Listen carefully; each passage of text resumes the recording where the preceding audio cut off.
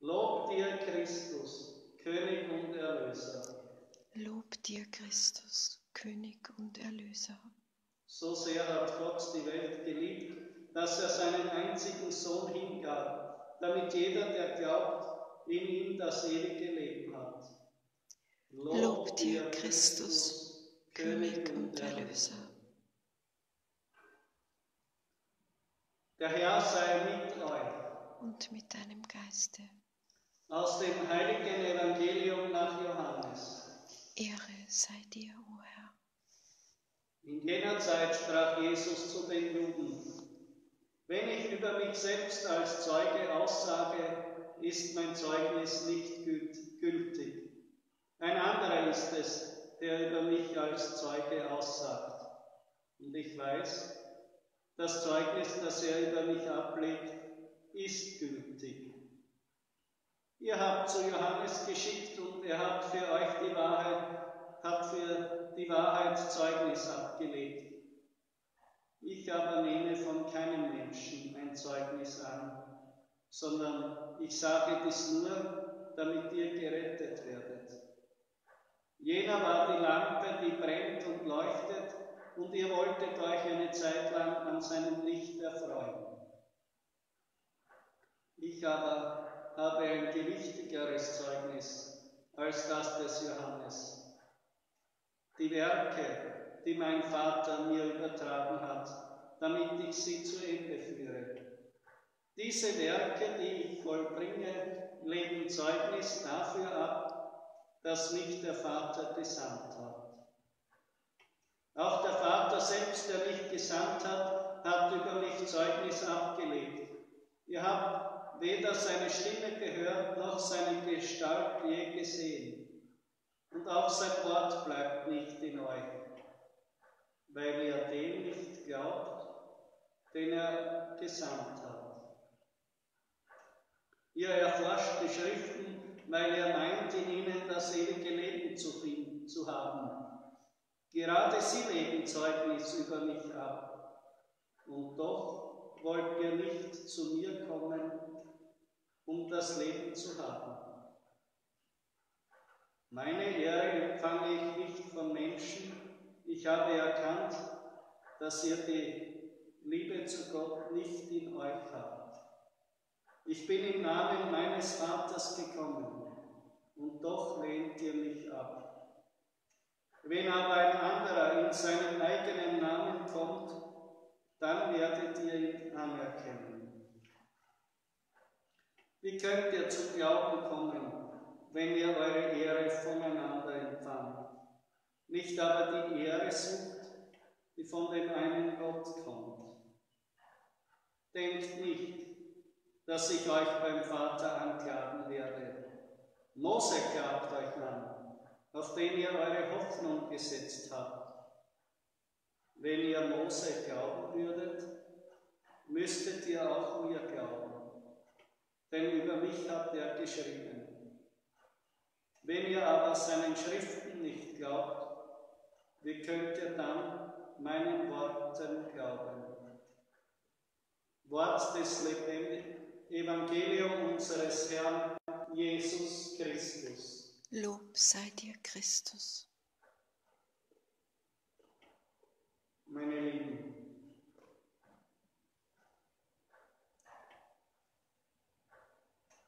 die Menschen, die Israeliten haben sich ein goldenes Kalb gebildet, weil sie nicht warten wollten, bis Mose herabkommt. Und weil sie einen Gott haben wollten, den sie manipulieren können. Ja, einen Götzen kann man manipulieren, man opfert ihn, wie es einem wohlgefällig ist, und dann das tut, was man halt selbst meint. Aber das funktioniert nicht.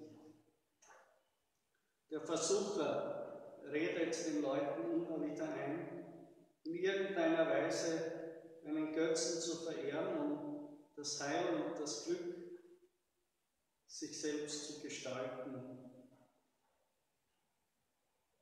Und es ist immer die Hoffnung, es gelingt. Aber man gerät nur in die Falle des Teufels. Man geht in all diesen Versuchen ins Verderben. Hier auf Erden und dann auch in der Ewigkeit.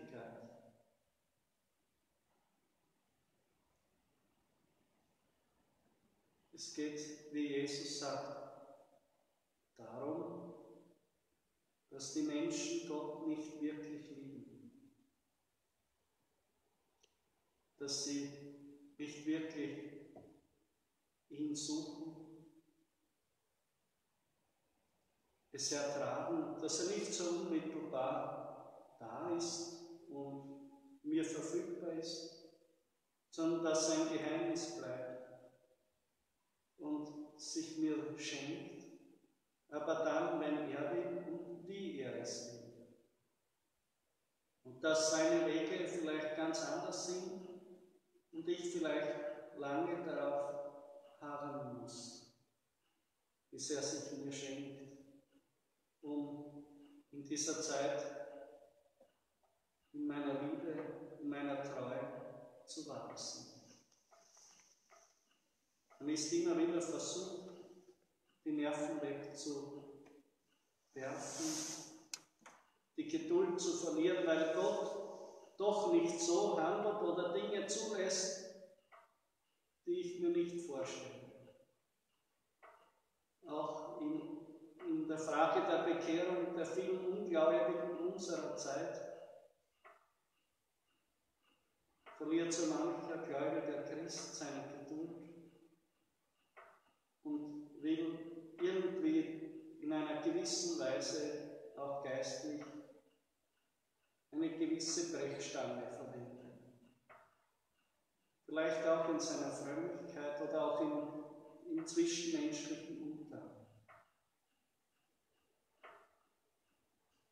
Erst wenn wir wirklich den Herrn um seinetwillen lieben, begreifen, was, was es heißt, was Jesus sagt. Er lässt es regnen über Böse und Gute. Und auch die Sonne scheinen über Böse und Gute.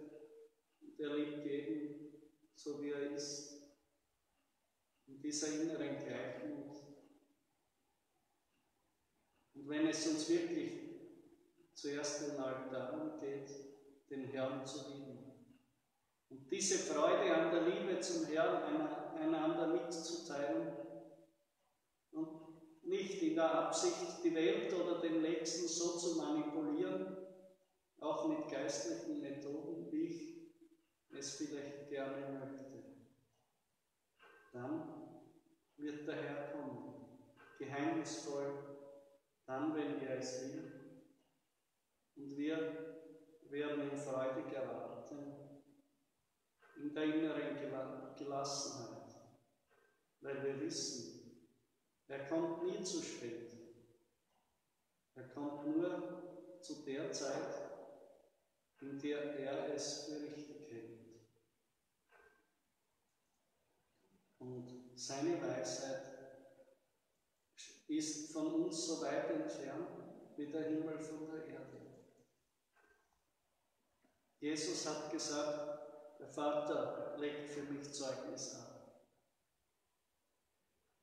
Es, hat, es stimmt, denn in der Auferstehung, in der Himmelfahrt, in der Sendung des Heiligen Geistes, in der Gnade, im Geheimnis der Bekehrung jeder einzelnen Seele, die ein Wunder ist